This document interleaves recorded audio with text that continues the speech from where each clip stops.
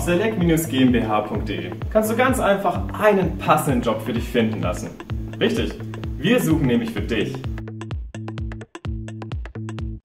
Sehr geehrte Zuschauer, dann kommen wir zur Pressekonferenz am 10. Spieltag der Oberliga Baden-Württemberg mit der Partie 1. CFR Pforzheim gegen den TSV Ilshofen. Ich begrüße hier bei mir den Trainer unserer Gäste, Ralf Kettemann, und für unser Team Alexander Freigang.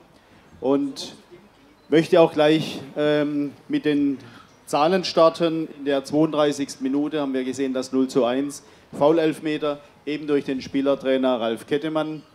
Nur drei Minuten später ein nicht verwandelter Foul-Elfmeter auf unserer Seite, der vergeben wurde. Und schließlich das 0 zu 2, der Endstand in der 89. Minute erneut durch Ralf Kettemann. Herr Kettemann, Sie haben heute Ihre zwei ersten Saisontore erzielt. Ähm, ich denke mal, aus Ihrer Sicht sind Sie zufrieden mit dem Ergebnis. Haben Sie damit gerechnet? Sehen Sie das Ergebnis als ja, fair, als, als, als in Ordnung? Äh, aus Ihrer Sicht sicherlich, aber ich denke mal, die, die Heimmannschaft der erste CFR hat doch deutlich mehr Spielanteile gehabt. Woran lag es aus Ihrer Sicht, dass Sie heute trotzdem drei Punkte mitnehmen? Ähm, ja, grüß Gott erstmal zusammen. Ähm, ja, woran lag es? Also ich sag mal, mehr Spielanteile, Sie haben sicherlich ähm, die zweite Halbzeit im Kopf. Ähm, aber ich muss sagen, wir haben uns in der ersten Halbzeit, meiner Meinung nach, war man da ein bisschen, also hatten wir mehr Spielanteile, sind viel vor die Abwehrkette vom Gegner gekommen, haben da guten Fußball gespielt, haben einen Pfostenschuss, ähm, so ein, zwei Halbchancen uns erspielt. Ähm, da waren wir spielerisch gut, das haben wir gut gemacht, hatten dann vielleicht auch ein bisschen Glück mit dem Elfmeter ja, ähm, dass es nach innen verlegt wird. Ich kann nicht genau sagen, was war. Letztendlich war das natürlich wichtig. Wir haben jetzt gemerkt, in dieser Oberliga, wenn man mal 1-0 führt, das ist einfach Gold wert. Ähm, ganz wichtige Nummer. Haben dann natürlich mega Glück, beziehungsweise in irgendeiner Form Können von unserem Torwart, ähm, der dann den Elfmeter hält. Wenn dann es direkt wieder 1-1 steht, dann, dann wird es blöd für uns. Ja, so Nackenschläge tun uns nicht gut, da sind wir nicht gut genug haben wir in den letzten Wochen so haben wir gemerkt, dass wir da, da fehlt einfach uns die Qualität und noch die Routine einfach. Ja, und dann die zweite Halbzeit war von uns jetzt nicht so ex, extrem gewollt, dass Pforzheim das Spiel macht, aber wir haben es in Kauf genommen, dass äh, Pforzheim äh, Ballbesitz hat und auch mal ein paar Flanken reinschlägt. Ähm, aber ich habe jetzt, ich müsste lügen, als Spielertrainer ist immer schwierig, aber ich habe jetzt nicht viele klare Torchancen für Pforzheim in der zweiten Halbzeit gesehen. Ähm, also dass man irgendwie ein, zwei Mal eins gegen eins auf den Torwart geht oder so. Ähm, ja, von dem her sicherlich irgendwie glücklich, weil man Elfmeter halten, weil Pforzheim vielleicht auch ein bisschen mehr Spielanteile hatte. Aber um ehrlich zu sein, in unserer Situation ist es eigentlich wurscht, weil wir müssen einfach schauen, dass wir Punkte einsammeln, äh, wie es nur geht. Und von dem her war es, glaube ich, ich bin sehr zufrieden mit meinen Jungs. Ja, also war nicht nur ein glücklicher Sieg, glaube ich. Ja, vielen Dank, Ralf Kettemann. Alex, ich denke mal, an, am, am Bemühen lag es heute nicht, aber ähm, wir haben es gerade eben schon gehört, es, waren, es war keine zwingende Aktion, vor allem, oder kaum eine zwingende Aktion, vor allem in der zweiten Halbzeit. Äh, viele Bälle zu ungenau, äh, Abschluss nicht richtig da. Woran, woran lag es heute, Alex? Ja, erstmal Glückwunsch, Egelshofen, für den Auswärtssieg.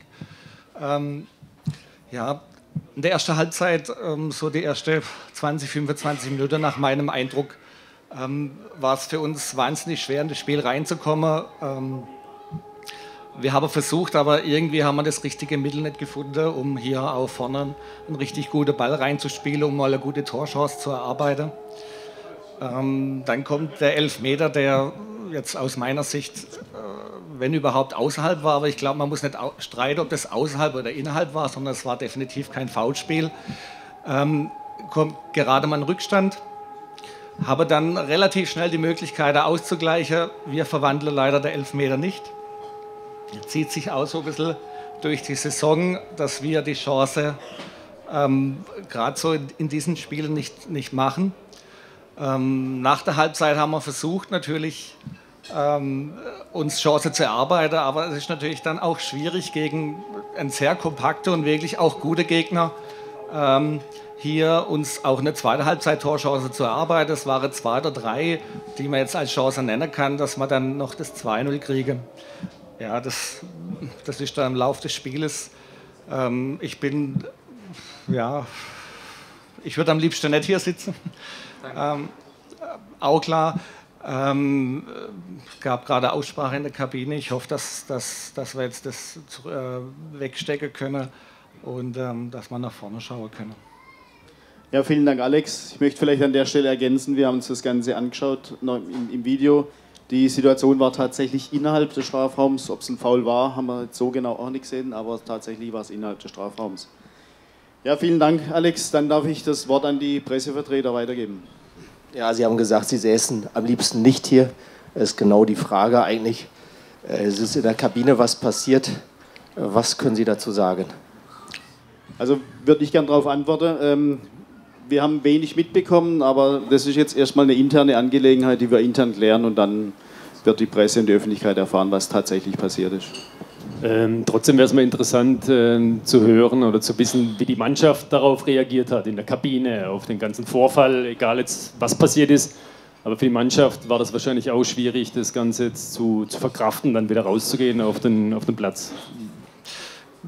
Natürlich, das, das ist vollkommen klar. Da, jeder ist da in der Kabine perplex, dass sowas, dass sowas vorfällt. Ähm, da ist jeder ein bisschen in Schockstarre. Ähm, äh, der Fadi hat versucht, natürlich in der Halbzeit das von der Mannschaft wegzunehmen, aber jeder Spieler hat das natürlich drin. Ähm, ich glaube, am liebsten wäre die Mannschaft gar nicht mehr rausgekommen in der Halbzeit zum Weiterspielen. Das muss man wirklich an der Stelle klar sagen. Dann bedanke ich mich für die Aufmerksamkeit, bedanke mich auch bei, bei den beiden Trainern für, für ihr Kommen.